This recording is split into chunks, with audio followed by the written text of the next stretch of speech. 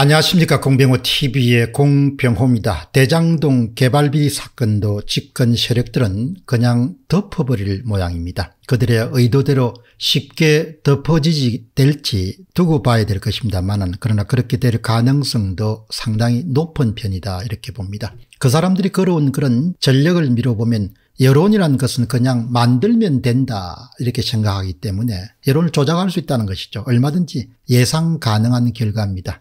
조작한 여론을 갖고 이게 민심이다라고 우기게면 그만이 된 것입니다. 사실 여론이란 것이 별 것입니까? 그 사람들은 그 여론이란 것을 그냥 쓱싹쓱싹 조작할 수 있는 것, 만들 수 있는 것 그렇게 보는 것이죠. 여론 조작이 일상이라는 이야기입니다. 10월 25일 날 디지털 타임스는 이런 기사를 내보냈습니다. 국감 판정성, 이재명 반등세, 가상 양자 대결에서도 윤석열의 우위라는 기사를 내보냈습니다. 한국 사회 여론조사연구소 결과에 따르면 이재명 지사가 경기도 국정감사에서 판정성을 거뒀기 때문에 야당의 유력 후보들과 양자 대결에서 뭐 예를 들면 윤석열 후보는 37.5 대 33.6으로 꺾었고 홍준표는 36.7 대 34.8로 꺾었다. 근소한 차로 앞서기 시작했다 이렇게 발표했습니다. 이렇게 필요에 따라서 그냥 여론을 조작하면 되는 것입니다.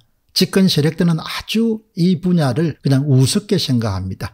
실제로 민심이 어떤 것은 중요하지 않다는 것이죠. 그냥 우리들이 만들고 싶은 민심을 민심이라고 우기고 언론에 뜨게 하면 그것이 그냥 여론이 된다는 겁니다. 선거에서는 여론 조작, 맞춤형 투표 조작을 하면 또 선거에서도 이길 수 있는 것이죠.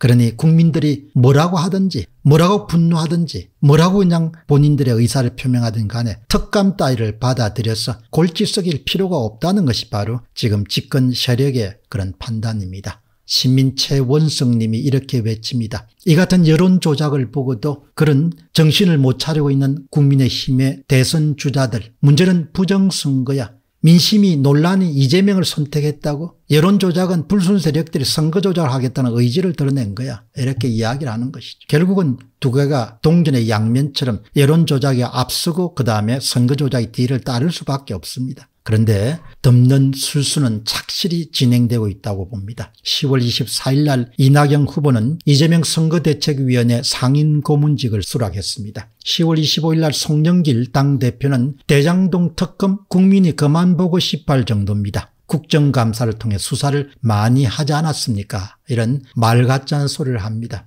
또 10월 25일 날 송영길 당대표는 특히 지역 카페 예산은 이재명 후보도 지적했지만 다시 정액될 수 있도록 하겠습니다. 10월 26일 날 문재인 대통령과 이재명 대선 후보의 청와대 면담이 이루어지게 됩니다. 집권 세력의 움직임에 직업적인 아주 특별한 촉을 가진 언론들도 우선적으로 사건을 덮어버리려고 하는 대장동 개발비리 사건을 덮으려고 하는 여당의 의도를 쿡 집어서 지적하고 있습니다. 10월 25일자 조선일보 사설은 검찰 지금 일도 수사 중단하고 특검을 자청해야 된다. 더 이상 수사할 필요가 없다는 겁니다. 내용은 이렇습니다. 검찰의 대장동 수사에 대해서 검찰 내부에서도 이런 식의 수사가 계속되면 결국 탈이 난다. 빨리 특검을 하는 수밖에 없다는 얘기가 흘러나오고 있다. 상식적인 우려다. 대장동 개발비리 의혹은 검찰이 직접 수사할 수 있는 6대 범죄 가운데서 부패, 경제, 공직자, 선거 등 4대 범죄에 해당하는 혐의를 받고 있다. 그런데 지금 검찰 수사는 태업에 가깝다고 할 수 있다. 이대로 가면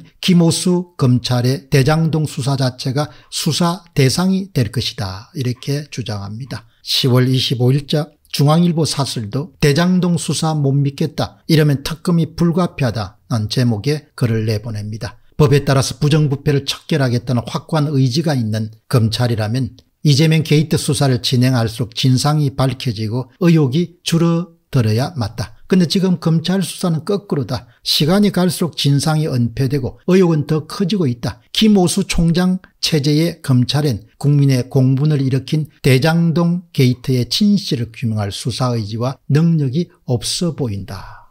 언론들은 이미 그런 쪽으로 흘러가고 있는 것을 정확하게 지금 파악하고 있는 것이죠. 황교안 후보는 10월 25일 날 특검 불가피함에 대해서 이렇게 역설합니다. 제목은 정신 못 차리는 검찰 특검만이 답이다. 김호수 검찰은 역사의 길이 남을 것입니다. 가장 무능하고 권력에 빌붙었던 검찰로 대장동 수사에서 김만배 구속영장은 기각당했습니다. 남욱은 공항에서 긴급 체포됐다가도 그냥 풀어주었습니다. 유동교의 배임 혐의는 기소에서 빼버렸습니다. 압수수색에서 성남시청은 거듭 뺐다가 여론이 악화되자 성남시청 서버를 압수수색하면서 이재명 지사의 이메일 기록은 빼버렸습니다. 검찰 도대체 어디까지 망가질 겁니까? 어떻게 하면 이재명 지사를 수사하지 않을 수 있을까만 초점을 두는 것이 모든 국민들 눈에 다 보입니다. 사약을 척결해야 될 검찰이 오히려 악의 눈치만 보는 모습이 불쌍하고 슬픕니다. 대한민국 정의가 무너졌습니다. 이러니 어쩔 수 없습니다. 특검만이 답입니다. 황교안 후보의 주장입니다. 이렇게 집권 여당이 아나무인처럼 행동할 수 있는 데는 여론조작과 선거조작이란 두 가지의 걸출한 무기를 손에 쥐고 있기 때문입니다. 밀란 수준까지 사람들이 저항하지 않으면 그들이 특검을 수용할 가능성은 저는 없다고 봅니다. 끝까지 뭉갤 것입니다. 국민들의 분노가 시들해질 것이고 저항은 미미할 것이란 판단을 그들이 갖고 있기 때문입니다. 그냥 여론도 조작할 수 있고 선거 결과도 조작할 수 있는데 국민을 두려워하거나 무서워하거나 이렇게 할 이유가 전혀 없는 겁니다. 대한민국은 이미 겉모습만 자유민주공화국일 뿐입니다. 완전히 내용물이 바뀐 나라가 돼버린 겁니다. 불법을 하든 뭘 하든지 간에 우리 편의 것은 모두가 다 수사 대상이 될 수 없는 그런 사회가 되어버렸습니다. 대장동 개발 비리 사건처럼 이 엄청난 사건에조차도 전혀 손을 댈 수 없으면 그것은 나라가 끝장난 걸로 봐야 되는 거죠. 공병호 TV의 공병호였습니다. 감사합니다.